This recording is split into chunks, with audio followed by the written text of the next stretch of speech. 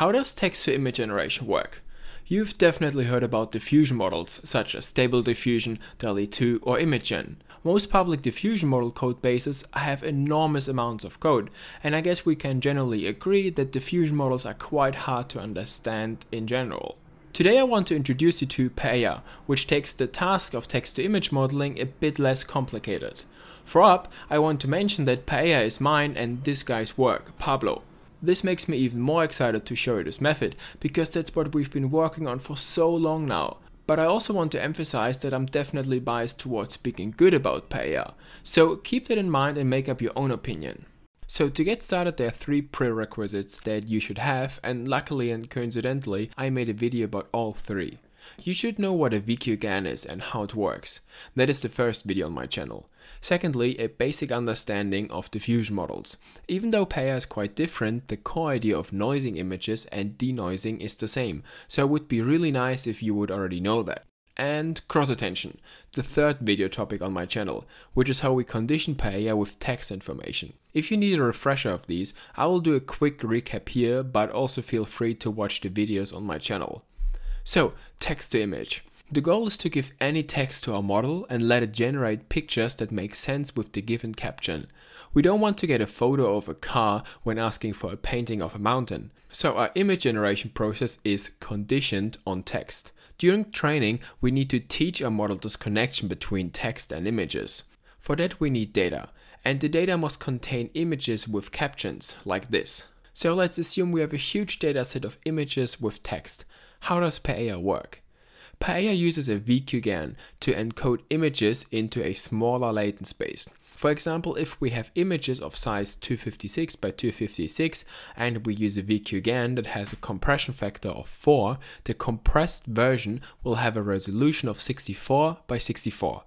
The main reason we are doing this is because it saves a lot of computational power. If you want to know how VQGANs work in detail, you can check out this video. But the most essential thing is that the VQGAN encoder returns us tokens that are contained in a codebook. There's only a finite number of possible tokens. In the case of Paella, we usually choose about 8000. What we do during training is the following. For every image that we have in our dataset, we first encode it with the VQGAN to get the tokens.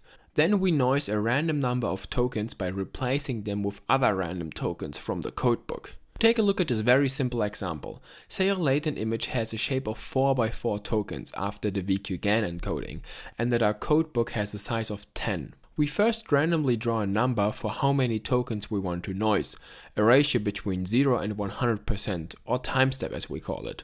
Say this ratio is 50%. We'll now take 50% of our tokens and replace them by some other tokens from our codebook. For example, look at this token 6 here we'll switch it out for another random token, say the token 4, and we do that for 50% of the tokens. So now we have our original tokens and the noise tokens. We still have to take care of the captions and find a way to provide that as conditional input to our model. And we do that by using a pre-trained language model to encode the text and inject it into our model via cross-attention. You can check out the full video on cross attention here, but in short, it just uses the attention mechanism to enable every token in our image to attend to every word in our caption and to decide which word is important to it and take information from. Right now, it seems to be the most powerful technique to do text conditioning. So now we have the noise tokens and the caption embeddings ready to feed into our model and ask it to predict the original version of the tokens. Alongside, we'll also give our model the ratio of how many tokens are noised in the current image, such that it can get an idea of how much it has to denoise. For example, when a lot of the image is noised, it has to be more creative, whereas when it sees that only a fraction of the image is noised, it can focus on detecting small perturbations. The model outputs a distribution over all possible tokens. This might sound a bit complicated, but let me explain with the example we did earlier. We have the 4x4 original and noise tokens. The noise tokens go into the model and the model outputs a score for all possible tokens in the codebook for every position. In PyTorch this looks like the following. The input has a shape of 4 by 4 and the output has a shape of 4 by 4 times 10. You see, every position has 10 values now, which stands for a score for each of the 10 codebook vectors. It is the same as in classification task, where for example you want to classify ImageNet and let your model output a 1000 dimensional vector where each entry stands for a score corresponding to one of the 1000 ImageNet classes. It's basically the same logic here. Let the model predict a score for all possible tokens at each position. And in that you can see for which tokens the model is the most certain and which ones are not going to be so likely to be at a certain position. Generally, you can think of it as the model having two tasks.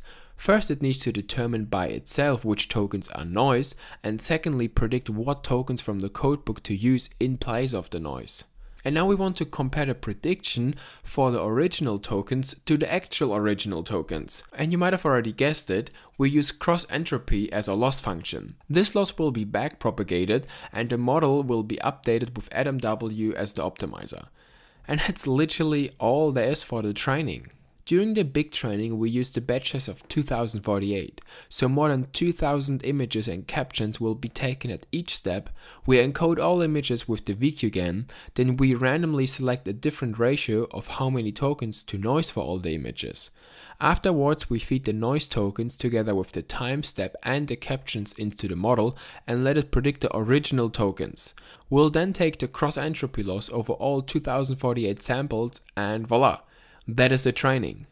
We now let this model train for a long time and many many steps. And now after the model has been trained, we can try to sample new images using the model and hope that we get some good results. For the sampling, we start off with the entire image being random tokens.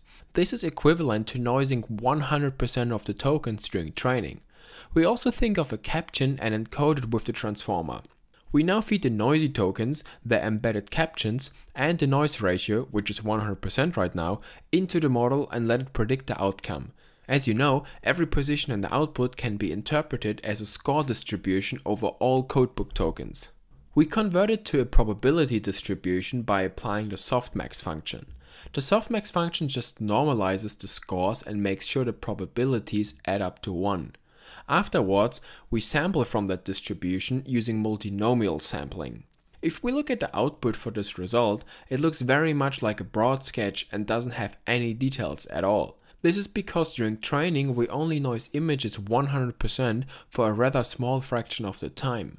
The real power of Paella and also classic diffusion models comes from iterative renoising and denoising, where every time you renoise with less noise than before. So to do that, we take the prediction and renoise it to, for example, 90% instead of 100%, which makes the image look like this. We'll give the image back to Paella together with the text conditioning and the ratio, which is now 90% instead of 100. And that is the result we're getting back. This time we can already see much more structure. Let's repeat this process for a couple more times and we see that every time the results become clearer and sharper. And this is the basic logic how the sampling works. And all the sampling code can be written in PyTorch in as little as 12 lines of code. Isn't that cool? Let's check that out. This line here is for creating the initial random noise that we start with. This line is to create the time steps or ratios as we call them. They start at 1.0 or 100% and go down to 0.0 or 0%. This is the loop over the number of time steps where we feed the current image into the model with the conditioning and the time step. Here we do the softmax and here we do the multinomial sampling. And last but not least, here we renoise the image with the appropriate time step for the next iteration. In the case that we just had, where the ratio was 100%, we renoise back to 90%. Now you might be wondering what the other lines are doing. Let me explain. This line is for setting temperatures. You might have seen it when using language models. We divide the predictions of the model by the temperature. Let's take an example. Here I've made up a score distribution over 100 codebook vectors. Note that this example is only for a single token, so for example for this one. You can see that the model thinks that certain tokens are more likely than others by assigning a higher score to them. If the temperature is 1, this will not have any effect. If we make our temperature bigger though, this flattens the distribution and evens the very likely tokens more towards the less likely ones. The effect of this is that when we apply the softmax and do the multinomial sampling, we get rather unlikely tokens more often and thus get more diverse samples. On the other hand, if we make the temperature smaller, we make the distribution sharper, and we only sample very very likely tokens. For paella we found that starting off with a temperature at around 1 and then getting smaller gives the best results, which also makes sense if you think about it. Now, what is this? What is CFG? CFG stands for Classifier Free Guidance and is a trick that makes text to image models perform so much better. Try sampling stable diffusion with no CFG and the outputs will be so much worse, and the same for Paella. I already explained CFG briefly in the diffusion model video, so let's take a look at that. So how does classifier free guidance work? During training for like 10% of the time, we'll train unconditionally.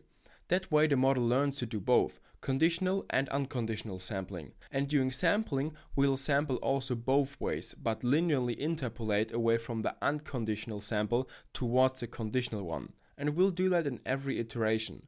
I'll put the paper for CFG in the description so you can read it more carefully if you're interested. And this line that you see here is doing exactly that what you just saw on theory. And with these two lines, we renoise the images back with the original noise instead of a new noise. We found this to work better. And that's the entire sampling procedure. The last thing we do is that we feed the latent tokens into the decoder of the VQGAN to get the real image at pixel level. And with that we can sample these beautiful images. And I think it's pretty cool that with such a simple setup regarding training and sampling, you can get really aesthetic images. I believe it really gives a nice and gentle introduction into the field of generative AI, where you can even understand it with little to no math background. Let's move on and talk about what models we use to condition Paella. I already mentioned that we condition the model on text, but which models do we use for that? And to be clear, we are not only using one model for conditioning.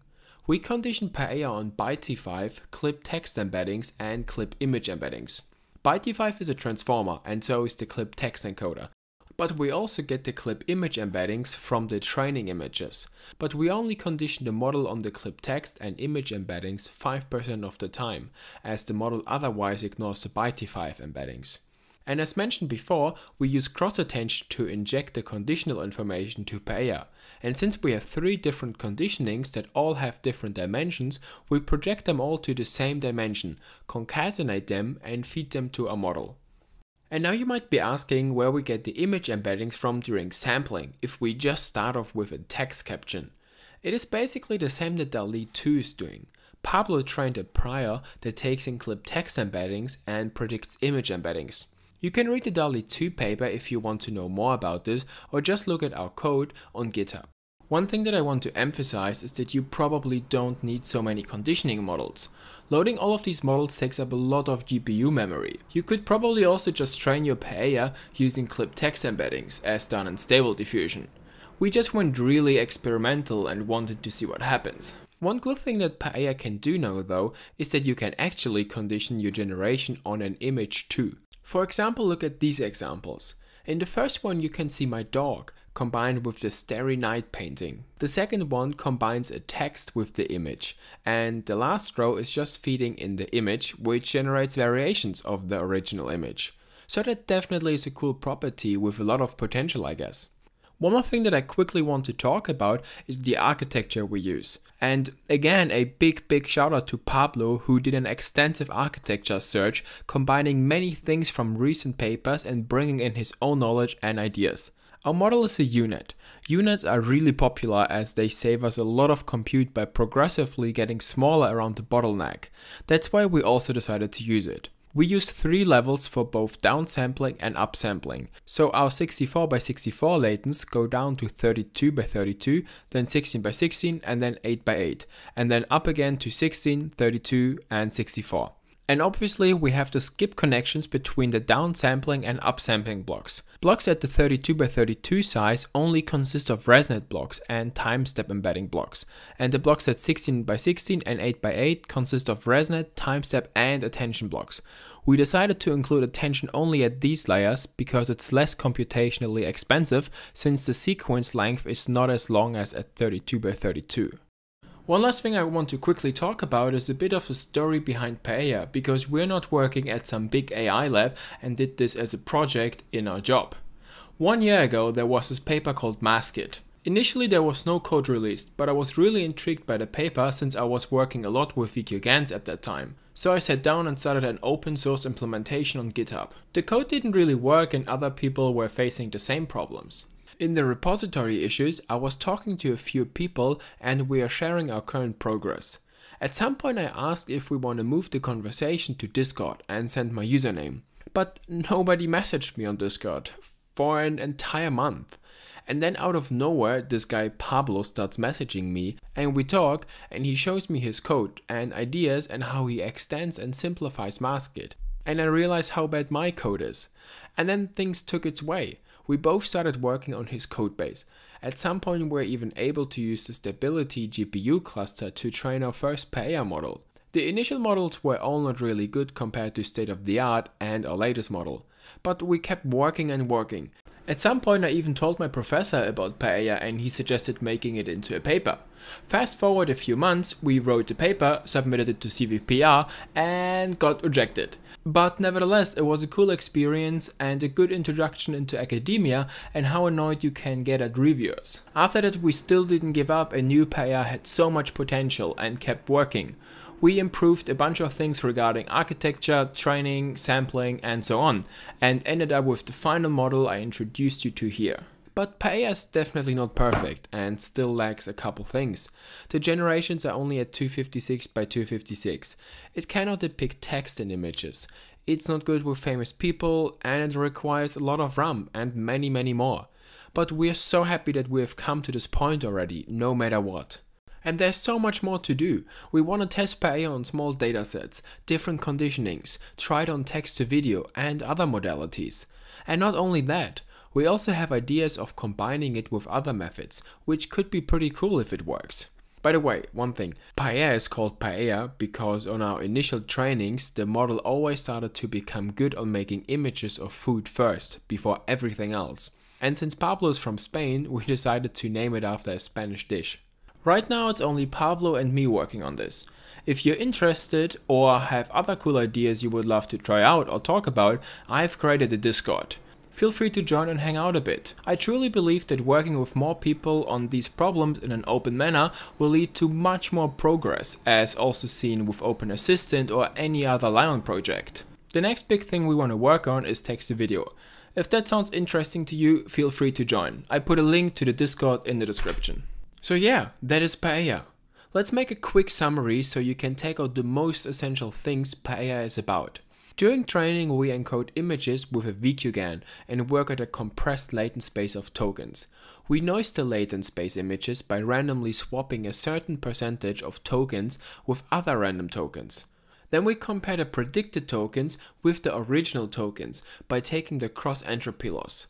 And sampling is also super easy. We start off with all tokens being random noise. We feed the tokens along with the text conditioning and the time step into the model and let it predict the original tokens.